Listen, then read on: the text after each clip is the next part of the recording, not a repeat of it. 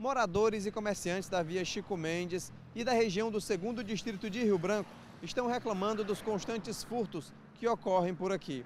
Nesta semana, o Banco do Brasil foi alvo dos criminosos, que foram na parte de trás do prédio e roubaram parte dos ar-condicionados. Os empresários reclamam que isso acontece constantemente e pedem que haja mais policiamento para garantir a segurança nessa região, tanto na parte do dia como também à noite. Eu conversei com um dos empresários que preferiu não se identificar, mas gravou entrevista com a nossa equipe de reportagem. Ele, inclusive, já adotou algumas medidas de segurança para tentar conter esses furtos constantes, o que isso não foi possível. Vamos acompanhar a entrevista.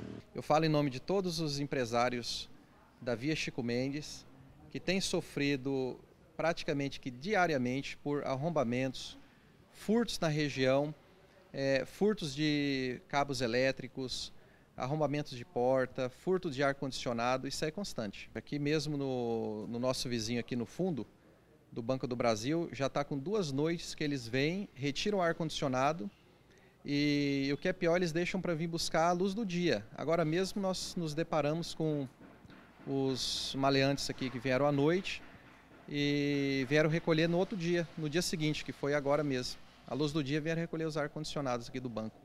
Você, inclusive, colocou concertina na sua loja, aqui do lado de, de trás, no fundo. Também colocou grade nos climatizadores do lado de fora, para evitar já isso ao máximo possível.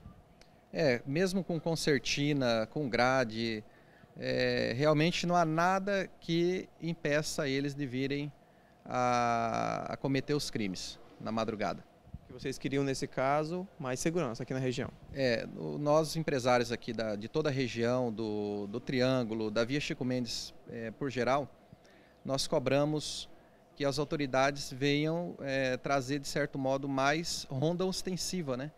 Porque a certeza de impunidade é grande, eles roubam praticamente é, na luz mesmo, porque eles roubam tanto na frente quanto nos, nas ruas do fundo e na certeza de impunidade. Com imagens de Sidney Torres, aqui da via Chico Mendes, Jardel Angelim para o Gazeta Alerta.